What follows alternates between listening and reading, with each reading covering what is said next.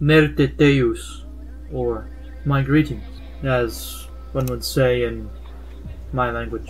My name is Ahre Calyiu'r King Bastion Mandoa, and I am a daughter of several Calyiu'r family members from the planet Telos 4.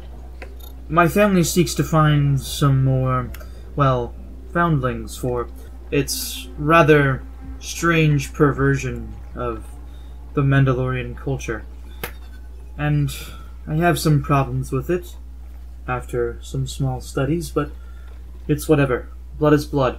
Other than this, I need to keep that blood running, so I recently got a bounty from the Empire, reluctantly. It's 15,000 credits to follow this ship piloted by. What was her name? Devlin Krill? Hopefully, I'll be able to get out of there alive. If not, then oh well. Would just be the last of my squadron to die.